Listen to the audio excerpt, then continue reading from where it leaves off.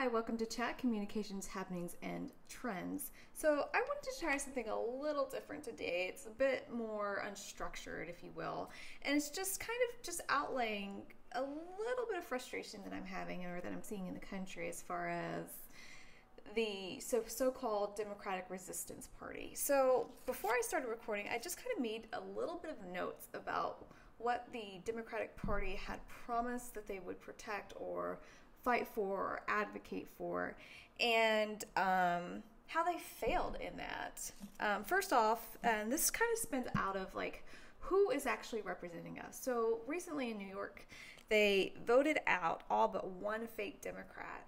And so what was going on there is that they had people masquerading as Democrats, but they were in fact caucusing with the Republican Party and supporting those type of policies. And understandably so, people were a bit frustrated by this. And so they had some elections and they were able to remove some of these people from power, which is fantastic. I'm very glad that people are seeing kind of a problem that we're experiencing with our two party system here in the US, which is that we don't really have a true party that represents the people. What we have is a corporatist party, and it's just one massive group of people that tend to just agree with everything they, that their corporate overlords tell them to do. So, this is obviously a problem, and this is not actually a unique phenomenon to New York City. It's happening all over the country. And so, I just wanted to just outline some things that we were told this party would be standing for or fighting against, and they have failed. One thing that they promised to do is protect DACA.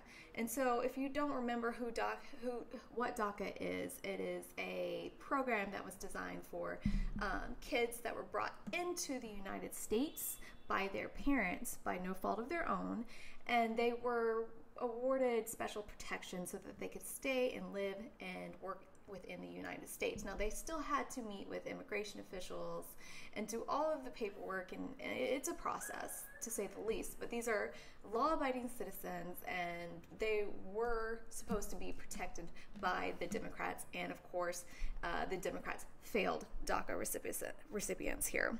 Another thing that, that Democrats at least promised at some point was to actually expand the Affordable Care Act. So the ACA is basically a privatized insurance scheme. And that's the best way that I can really describe it because what it does, everybody has to buy into the system. That's insurance, anyways. Um, so if you have a problem with that, take that up to the insurance companies because that has nothing to do with the government. That is how insurance works. You buy into a system, you buy a policy, and then you are supposed to, I guess, be able to be covered medically if something were to go awry or if you have a pre-existing health condition.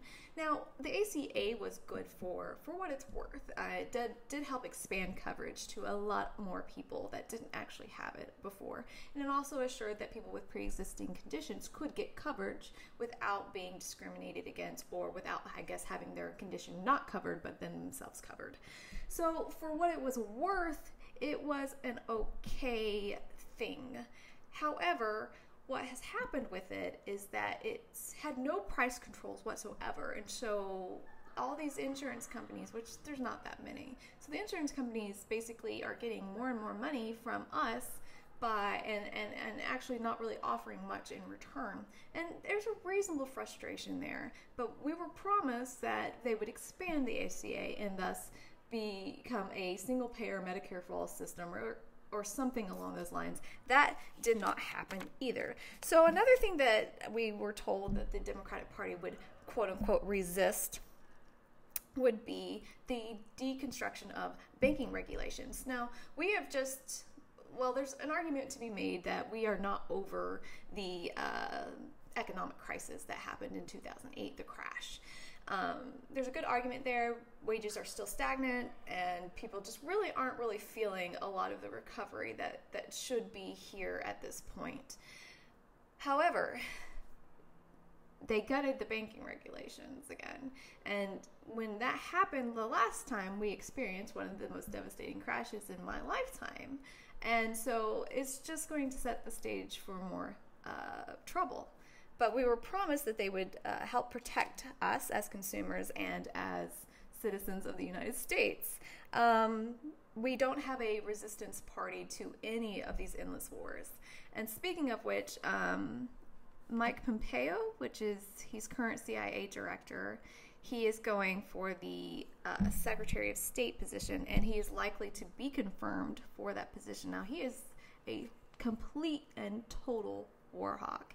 He loves these wars. He doesn't want. Uh, he doesn't have an escape plan. He doesn't want an escape plan for any uh, or a wind down plan or anything for these wars. It's he just loves them. He loves the brutality of it. I don't know why, but we have nothing, no party that helps represent us that don't want to be in these wars. Uh, for as long as I can remember, we have been at war. And it's tasking, it's exhausting, it's people's lives are ruined and dead, and all of these things that are horrible, and we have nothing to represent us to get us out. And so, you want to talk about a quote unquote resistance party here. Um, Senator Joe Manchin uh, put out a tweet on the 23rd of April um, saying that after meeting with Mike Pompeo, discussing his foreign policy perspectives, and considering his distinguished time as CIA director and his exemplary career in public service, I will vote to confirm Mike Pompeo to be our next Secretary of State. Okay, thank you, Joe Manchin. That's fabulous because you are a total war hawk. You are not a Democrat. Oh, by the way, West Virginia, he says he's a Democrat, but I'm not really sure what party any of these parties, any of these people belong to. It's so frustrating um, because they are total war hawks, complete and total um, war hawks. And as far as I understand, he really only Mike Pompeo to be confirmed because he's going to probably have all of the Republicans behind him, maybe minus Rand Paul, Libertarian Republican. Um, I don't think Joe uh, John McCain is back from his brain cancer incident, so he only needed what one additional Democrat for the confirmation, and it seems like Joe Manchin is on board, as well as potentially Heidi Heitkamp. I can't say her name very well. Um, so that was something that we uh, don't have. We've got all these confirmations for Warhawks, not to mention the war in Syria. Now, if you start talking about that, oh my goodness, like you are apparently un-American if you think that people that sh- there should have been an investigation before we bombed Syria. Is, I mean, is that where we are now? Are we that brutal as a, as a society and as a human race that we can't even just wait for evidence? Just wait. We don't need to escalate things. We don't have the evidence to support this. But what Democrat is speaking out against this? What resistance party?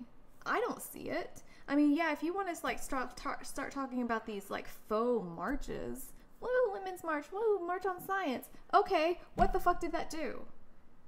How did that help? I'm talking policy. We need to have policy discussions, not about like grabbing as many people as you can to go to downtown and just stand around with this fucking sign. Like, who has our backs? Nobody. So, what are we voting for? What's the point when you only have one party and they only represent a certain group of people, which is the oligarchs? It's frustrating. It's so frustrating. Okay, another thing net neutrality. What happened with that?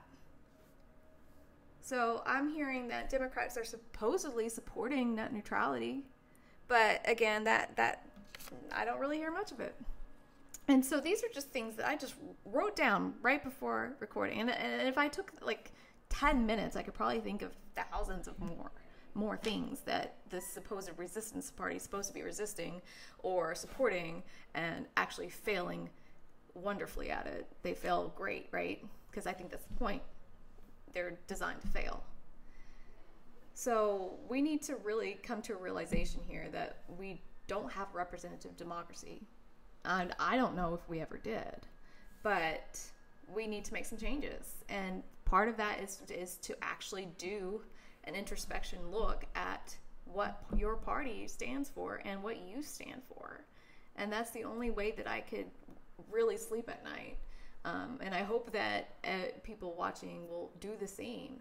Um, really do a critical analysis, think you know, don't take my word for it. Go and read these articles and see exactly what your member of Congress or your senator supports or doesn't support.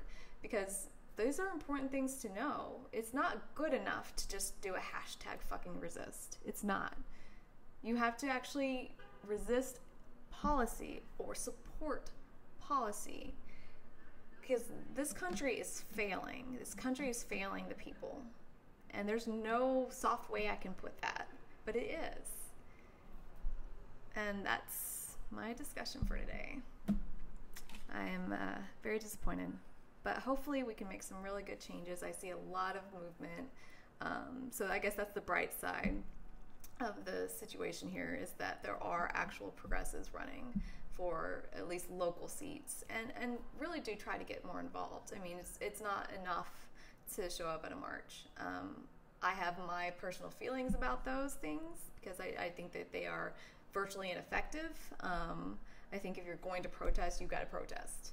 Um, you've got to be inconvenient. Um, but that's just my personal take on it. Now, if you don't have the time, I get it. No, it's hard. We're working multiple jobs. I get it. Um, just do what you can. If you liked what you saw, don't forget to hit that like button and please subscribe to our channel and make sure you hit that bell so that you get notifications when we upload new videos. And please try to support me on Patreon. I can't do any of this without your help, so thanks again.